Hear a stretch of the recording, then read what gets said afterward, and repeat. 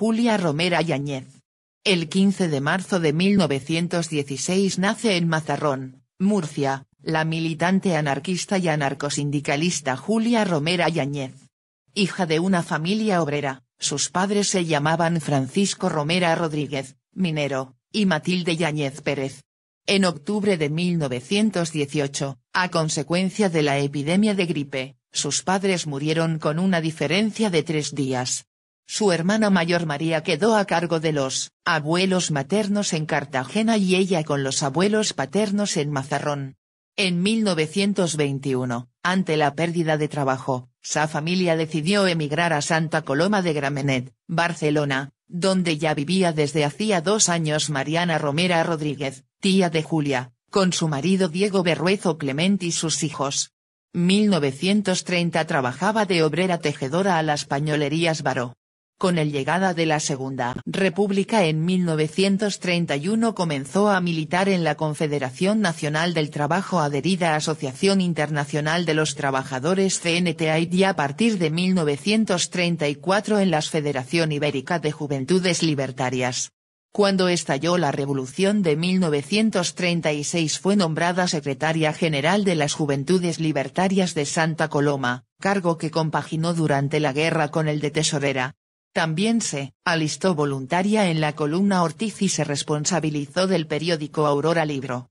Algunos meses después de la toma de Santa Coloma, el 27 de enero de 1939, por el cuerpo del ejército marroquí franquista, fue detenida por su militancia en las Juventudes Libertarias y en la Unión de Juventudes Antifascistas, UJA, de la que fue tesorera.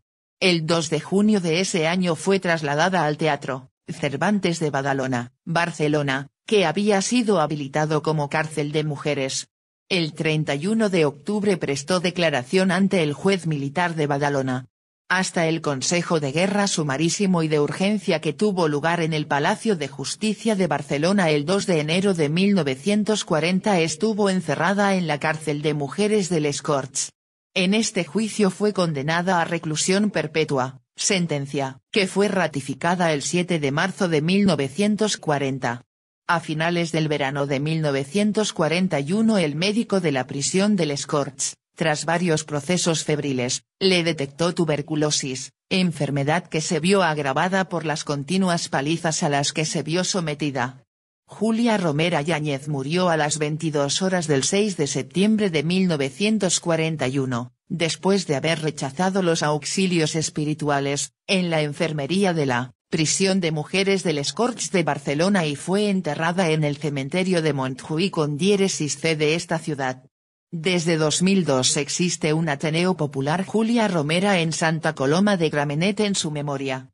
En 2015 se realizó una exposición en su homenaje y desde 2017 una calle de Santa Coloma de Gramenet lleva su